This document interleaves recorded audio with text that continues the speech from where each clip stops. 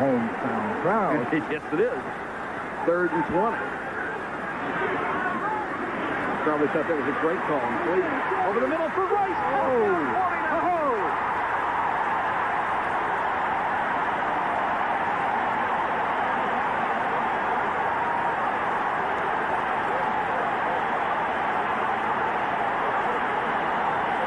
Ah, he's amazing. He's just doing things that no one else in this league is doing. Are they in a zone here, Jim? What kind of uh, defensive alignment are they in? I'm going to try to get a look at it, Roy. I can't really see the whole field. It's isolated. The replay is isolated. Minnifield let him go, and that's number 24, And it only Ray takes one step and it's jumping the ability. Oh, beautiful.